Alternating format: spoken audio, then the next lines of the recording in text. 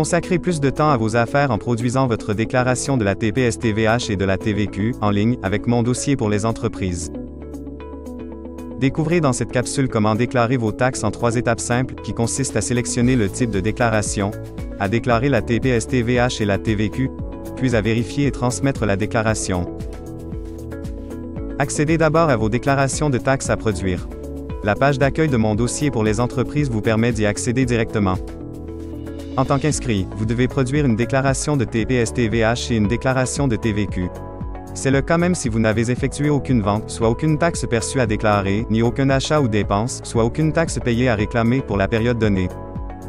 Sous l'encadré taxe, cliquez sur Consulter le détail. Une section d'informations s'ouvre alors, dans laquelle vous trouverez vos déclarations à produire. Choisissez la période pour laquelle vous souhaitez produire votre déclaration de taxes, puis cliquez sur Produire. Étape 1. Sélectionnez le type de déclaration. Un ruban à étapes situé dans le haut de la page permet de vous situer tout au long du processus de production. Vous êtes d'abord invité à remplir la déclaration abrégée. Celle-ci s'adresse à la plupart des entreprises.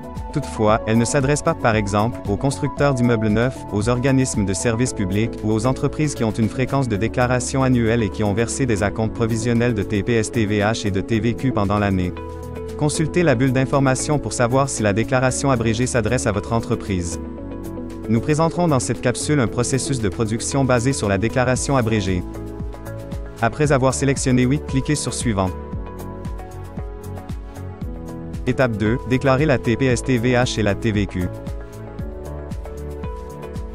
Vous devez d'abord indiquer si vous voulez déclarer divers types de vente ou de fourniture. Si vous choisissez de répondre par l'affirmative, consultez la bulle d'information pour avoir plus de détails sur la répartition possible. Considérant que cette répartition n'est pas obligatoire, nous poursuivrons le processus de production en répondant non. Inscrivez alors à la ligne 101 le montant total des fournitures de produits et services que l'entreprise a effectués, TPS, TVH et TVQ non comprises.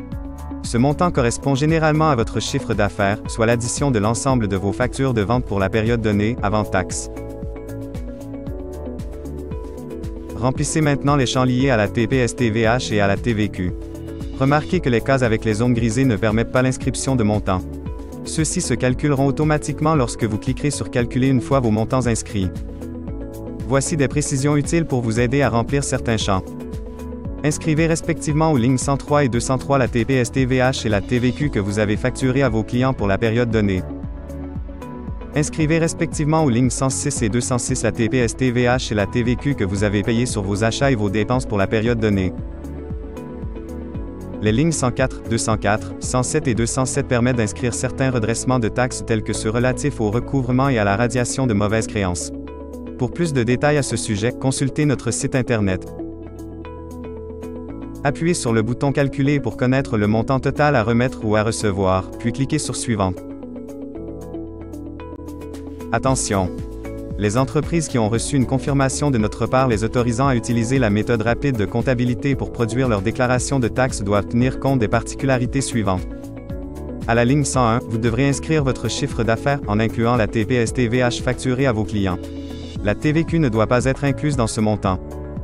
Aux lignes 103 et 203, vous devrez inscrire les taxes calculées en fonction de la méthode rapide, additionner des taxes sur la disposition ou la vente d'immobilisation, le cas échéant.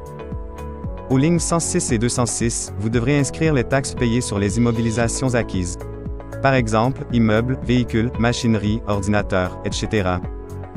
Aux lignes 107 et 207, vous devrez inscrire le crédit de 1% calculé respectivement en TPS-TVH et en TVQ. Enfin, indiquez votre intention de paiement. Étape 3. Vérifier et transmettre la déclaration.